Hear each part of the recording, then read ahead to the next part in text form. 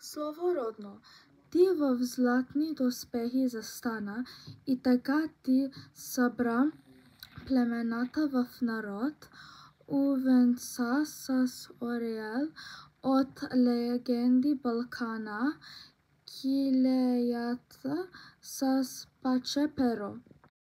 И когато от Солон пристигна в Писка, пред двореца те срещнаха цар и народ. Поклониха се с песен, приветстване ниско и огромно бе слънцето в родния свят.